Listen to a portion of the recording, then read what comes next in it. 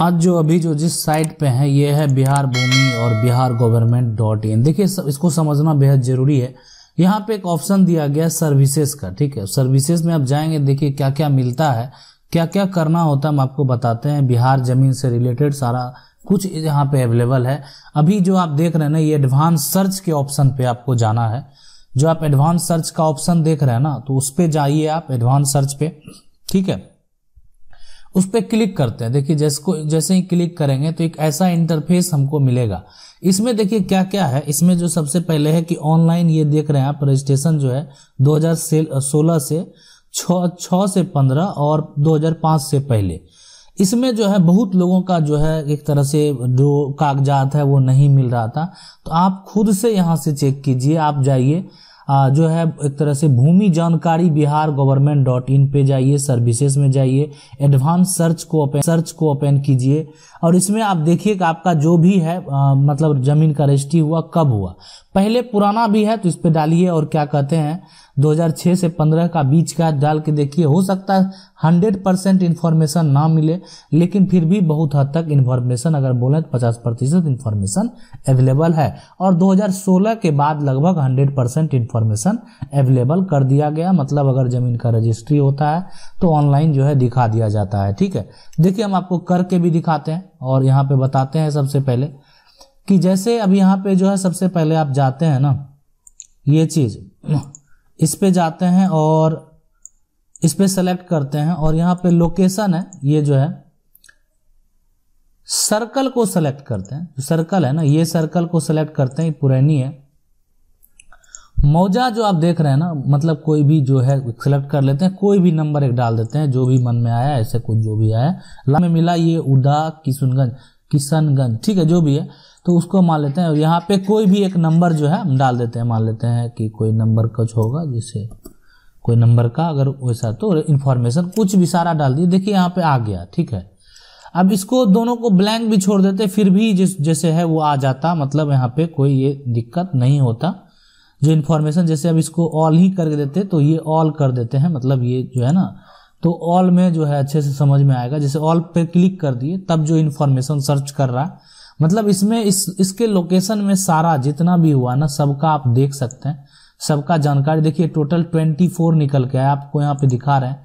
Total जो है ये 24 है, ठीक है? रिज़ल्ट एक ही बुक टाइप में है और सारा 24 जो ट्रांजेक्शन हुआ है ना, वो लैंड का, वो सारा इन्फॉर्मेशन आपको दिखाएगा, ठीक है?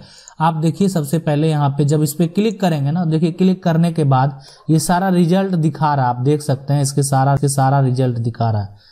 जितना भी रिज़ल्ट है ना, सारा रिज़ल्ट देखिए यहाँ पे दिखा रहा, सारा कुछ आप देख रहे हैं ना, ये दिखा रहा। जैसे कोई भी किसी एक पे क्लिक कर देते हैं क्लिक करने के बाद पूरा डिटेल जो है उसका आप देखें, यहाँ पे खुल गया।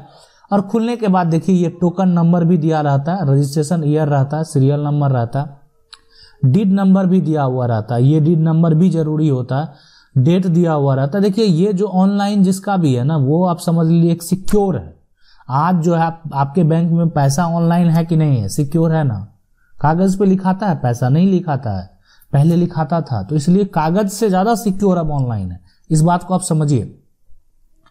तो ये जो है यहाँ पे और ये सारा नाम हो गया और सारा जो एड्रेस हो गया उसके बाद पूरा ये जो है यहाँ पे दिया हुआ है किसको लिखा गया ठीक है? सारा जो है पार्टी है। अच्छा लैंड जो है ना ये सारा यहाँ पे ये थाना उसके बाद जो भी एग्रीकल्चर है मार्केट वैल्यू है ठीक है प्लॉट का ये खाता ये है ठीक है एरिया जो, जो लिखा गया वो सारा कुछ। और चौहद्दी आप चौहद्दी को देखिए। चौहद्दी भी यहाँ पे मेंशन होता है कि आपका अगल बगल कौन है। और ये जो है हंड्रेड परसेंट ज़रूरी होता है।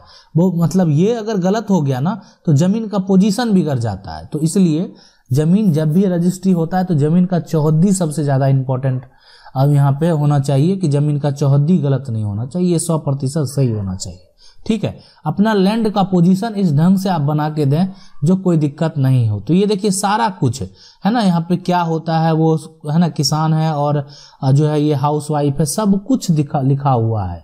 है ना? कहीं कोई दिक्कत नहीं है, सब कुछ यहाँ पे ये जो बेचने वाले थे, ठीक है? जो भी है तो वो यहाँ पे उसका भी नाम है, सबका दिया हुआ है सबका जो भी है। तो ये पूरा जो है प्रोसेस है मतलब यहाँ से आप इसको प्रिंट कर सकते हैं, आप उसको जो है निकाल सकते हैं। इससे सारा कुछ देख सकते हैं, सारा कुछ पता लगा सकते हैं। अगर आपका पुराना कोई भी दस्तावेज़ नहीं मिल रहा है, अगर अवेलेबल है तो चेक करके देख सकते हैं। चेक करके देखिए, अगर अवेलेबल है तो निकल जाएगा। नहीं तो अगर जिसका अवेलेबल नहीं है, जिसका नहीं मिल रहा है कागजात, ठीक है तो आपको अपना रजिस्ट्री ऑफ़िस जाना है, जहाँ मान लेते हैं जो भी, जैसे ये जो है, इसको है ना डीएसआरओ है तो वहाँ जाइए, वहाँ उसके बाद जो है, उस ऑफ़िस में जो आपका वहाँ है, उसके लिए डुप्लीकेट कॉपी के लिए आप आवेदन कीजिए और ये भी दीजिए कि आपका जो कॉपी है, वो एक तरह से खो गया, कोई कारण बस। उसके लिए जो भी आपको एफिडेविट मांगा जाएगा या एडवर्टाइजमेंट बोला पेपर में बोलेगा, एक बार छपा दीजिए। ठीक है, एक बार ऐड दिलवा दीजिएगा, सौ, एक हज़ार या जितना भी, पंद्रह सौ रुपया जो भी लेता है एक ऐड का न्यूज़पेपर वाला तो वो आपको जो है दिलवा दीजिए, लेकिन उसके बाद वो डुप्लीकेट कॉपी कहीं से अगर आपको ला के देगा, अगर ऐसा कुछ आपका जो है डिटेल है। ठीक है? ढूंढ के निकाल के देगा।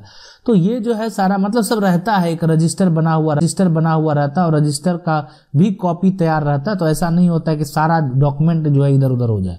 ठीक है, ये संभव नहीं होता है, वो इतना आसान रजिस्टर का जो है डुप्लीकेट कॉपी तैयार होकर सब जगह भेजा भी जाता है तो ये सारा एक साल का जो है पूरा इन्फॉर्मेशन तैयार किया जाता है तो ये इतना आसान नहीं होता है कि मतलब एक जगह से अगर गड़बड़ा गया, फट गया, पेज फट गया तो सब जगह का हो जाएगा। तो इसलिए मिलता है। अगर तो जिन लोगों का, बहुत लोगों ने कमेंट किया कि मेरा जो है ये कागज़ नहीं मिल रहा, नहीं जो है पता चल रहा है तो आप इस तरीके से कर सकते हैं। आप वहाँ पे जो है इन्फॉर्मेशन के लिए जाइएगा, ठीक है? जो उसका प्रोसेस है। डुप्लीकेट कॉपी के लिए आवेदन करना है। हो सकता है उसके लिए आपको एफिडेविट मांगा जाए, जिसको शपथ पत्र बोलते हैं। है ना? वो क्या होता है, उस पर भी मेरा वीडियो है, आई बटन में लिंक है, आप जाके देख सकते हैं, ठीक है? और ये सारा कुछ करने के बाद जो है, आप अपना जो डॉक्यूमेंट निकाल के ज़मीन का दाखिल खारिज करा लीजिए, और वो बेहद ज़रूरी है, अगर वो नहीं कराए तो वो सबसे बड़ा जो है आज कल मिलने वाला है, आगे चल के भी समस्या होने वाला है। अगर आपका ज़मीन का दाखिल खारिज नहीं रहेगा तो ज़मीन का मालिक जो है कोई और बन जाएगा। सबसे बड़ा दिक्कत यही है। अगर आप लोगों का भी ज़मीन संबंधित कोई भी समस्या है तो कमेंट करके पूछिए। हम वीडियो के माध्यम से जवाब देने का प्रयास करेंगे। अगर आपको वीडियो अच्छा लगा वीडियो को लाइक ज़रूर कर दें। चैनल को पहली बार देख रहे सब्सक्राइब करके जो बेल आइकन है, उसको दबा दीजिए। मिलते हैं अगले वीडियो में। तब तक के लिए जय हिंद।